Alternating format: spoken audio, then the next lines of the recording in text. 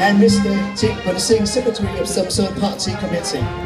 Kính thưa quý vị và ngay sau đây thì Thủy Vân xin được đếm ngược từ 5 cho đến 1 và xin mời quý vị đại biểu có mặt tại sân khấu đồng thời sẽ xúc ba xẻng cát để đổ ra phía trước tượng trưng cho việc động thổ khởi công dự án và bây giờ giờ phút trọng đại xin được phép bắt đầu. Now let's count out together from 5 to 1.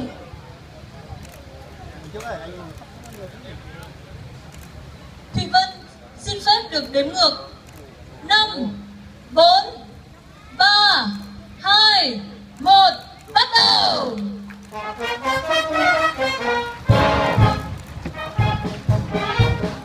Vâng, xin được chúc mừng cho những giây phút đầu tiên của lễ khởi công sân gốc và hội nghỉ dưỡng quốc tế FOC Samsung Company. Đây là một giây phút vô cùng có ý nghĩa không chỉ với tập đoàn FOC của tỉnh Thanh Hóa và thị xã Sầm Sơn. This is a moment not for LLC Group, but also for local residents of Samsung. Và ngay sau đây xin mời quý vị quan khách, quý vị đại biểu sẽ bước lên sân khấu để cùng chụp ảnh kỷ niệm cho chương trình khởi công dự án này. Xin trân trọng kính mời quý vị quan khách vừa thực hiện nghi lễ khởi công. Xin mời quý vị bước lên sân khấu để uh, chụp tập hình lưu niệm cho sự kiện đặc biệt ngày hôm nay. Now, ladies and gentlemen, please join on stage to take pictures celebrating the groundbreaking ceremony.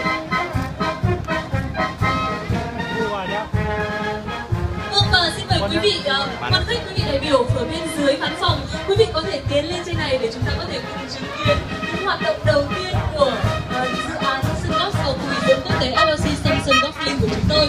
And everyone in the, in the room and in the hall can move forward a little bit so we can see the construction site of the international uh, golf site our Samsung companies.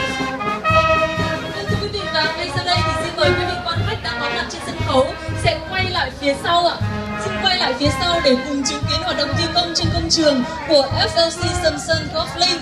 Và xin mời quý vị, xin quý vị hãy đến gần sân khấu hơn với chúng tôi để có thể cùng theo dõi những hoạt động đầu tiên của dự án này. Và xin mời màn hình led phải mở ra. Now I'd like to 这个是 quý 的，然后就吃 tiến.